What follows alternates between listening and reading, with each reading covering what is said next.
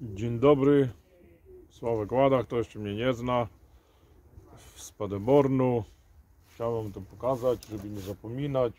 Dużo kolegów się pyta, ja robię w sumie na okrągło sam i kiedyś tam e, z olejem a teraz na przykład czosnek e, z wodą, szklankę wody i cała główka na ze 150 głębi, tak około 100 może tam 52 tam w sumie, jak tam policzyłem dokładnie. I tak, plus minus jedzą 6 kg, 7 kg karmy. To owiec, zawsze się pytają, zwykły owiec od koni, z łusko, prosto, normalny owiec. Tu jest podejrzewam kilo. Tutaj jest około tak samo owiec, jest, myślę, że tam owiec może wrzeć do pół kilo, także tam osy nie żałuje. Tutaj tam jeden pan wczoraj dzwonił, można powiedzieć, nie wiem gadać dokładnie skąd, ale okolice Gdańska. Knobla Vital, wiadomo, na młoda, bo później latem, no to ja tego nie mam czasu, żeby tam codziennie się bawić, chyba że no robię tylko czosnku takie zupy, nie? Wiadomo, prawie pół na pół, a nie to bynajmniej czosnku musi być 30%, taka zupa. O. No lepiej to narobię pół na pół, jak nie to 30%, żeby było czosnku. Łyżkę na karmę. Najlepiej to, żeby nie zapominać, e, z godzinę stało. Kto ma okazję, tak jak ja tam przyjdę w sezonie, to i dwie godziny stoi, i do trzech nawet, bo ja tam karmię delikatnie, po trochu. I żeby nie robić takich głupot, bo ja znam takich ludzi, co nie robią na trzy dni, nawet tu w Niemczech. No, to tak jak robi, to tak on leci. Także te gołębie też przychodzą trzy dni. Najlepiej godzina, góra, dwie, żeby stało. Nie więcej, nieważne lato czy zima. Wiadomo, zimą ktoś ma garaż, może zrobić.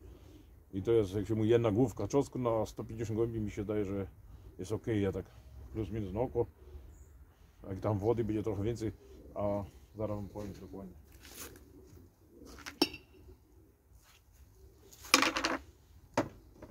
Normalnie daję ocet jabłkowy do wody, ale tutaj na oczko damy z z 20 gram.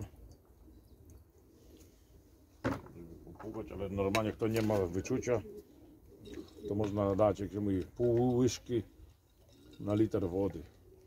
Tam nawet do 10 tych gram można dać. No, takie to są mieszamy. Później obsyjemy za godzinę, za pół, to obecnie trochę ziołamy i to będzie stało dwie godziny. Dzisiaj mam czas, mam wolny. Teraz godzina pierwsza w dzień. Później o czwartej będzie się ściemniać, dam gołąbków i to by było na tyle. Także jak się mówi, ja tam dużo obserwuję ludzi. E, Na wystawie te robili w Polsce, ogólnopolska wystawa była. I tak się mówi, tam nie będziemy to wnikać, ale zauważyłem ci, co, jak się mówi, ja tam też, bo to będą później będą, powiedzą, gdzie, no, tam.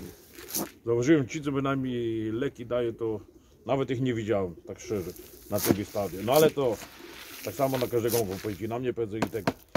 No ale założyłem, kto leków nie daje, to ma lepsze wyniki.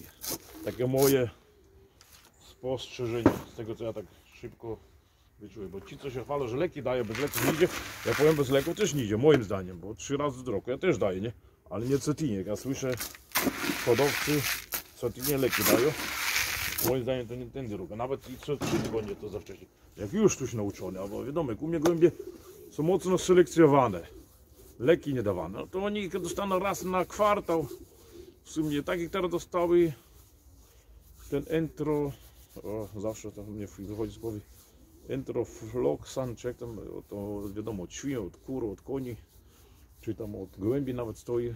Jak się mówi, dostaną taką kurację 7 dni, czosnek raz na tydzień, raz na tydzień cebula na przykład daje w lotach, bo teraz to w sumie przemienie mało. Nie zapominać propolisu dawać. Propolis jest dobra sprawa raz w tygodniu. To, trzeba taki plan ułożyć, nie? Na przykład w dniu przykład i propolis dawać na karmę, bo ludzie takie błędy robią, że propolis daje na, na wodę. Na wodę nie działa, on się osadza, a po drugie to jak zauważyliście, takie się robi mleko, nie? A później wam ludzie gadają, że jakieś mleko sprzedaje, kocie mleko, no ale i może i koty mają mleko, no. No nie wiem, każdy tam robiek uważa, tam Ja tam za dużo nie, naturalnie 90%, a resztę, wiadomo, gołębie niezdrowe to można i dać i, i makaronu u niej nie polecę, no ale to tak moje spostrzeżenie tam. Kiedyś przekarmiałem gołębie, o co do hodowców powiem, tak jak zauważyliście, wiadomo, teraz tam dużo owsu dodaje, jak się mówi, ale tak to u mnie na okrągłe, tam nie patrzę, tam na okrągły owiec, dzień, dnia, jeszcze raz owiec. 70 karmy, nawet normalne, jak to mówią, albo tej dobre, może być i lepsza. Wiadomo, kto ma dobrą karmę, nie musicie już tam konopi dokładać co dzień po 5%, po 10%. A jak się mówi, no, ja mam słabo karmę, u mnie tam nie ma tej konopi, może nieraz jest 10% założeń, może nieraz 5% słonecznika, zależy jaką karmę, ja nie patrzę karmę, wieści mi. U mnie ma być tania, a resztę to jak widzę, że za mało, to sobie dołożę te 10%. Jak wiadomo, 350, 400, 600 i 30% dołożę. Jak na 700 i 40%, dwa dni ostatnie, a w dniu koszowania to prawie nie karmię. Kto mnie wierzy, nie wierzy. Także nieważne, czy to 600, czy 800, wiadomo. Jak na 700, no to tu sąsiadkę poproszę jedno, drugo.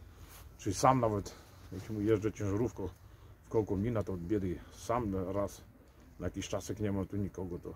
A zazwyczaj w, u nas, wiadomo, w piątek wpadamy, to e, w czwartek od biedy z rana czy w obiad, no, a zazwyczaj tu postawię wiaderko i ktoś przyjdzie i tam wrzuci im tam, wtedy już obojętnie. A nie, to no, trudno, jak nie mam nikogo tu, to i rzucę im tam, jak się mówi, wieczorem, takich pasę, że tam 8 razy, a dziewiąty raz już tam na przykład na 40 gołębi, na przykład dam po 200 gram, czy po ile, oni i tak na drugi dzień, dobrze najedzone i tak nie jedzą. By było na tyle, pozdrawiam, nie przekarmiać gołębi, będą plusy tam.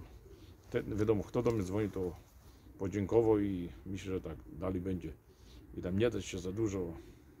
No każdy musi robić, wiadomo, ile, ile hodowców, tyle mistrzów, no ale i każdym mistrzem też nie będzie. Widzieliście na wystawie, nie wszyscy byli mistrz. No, dziękuję, pozdrawiam, dobry lot.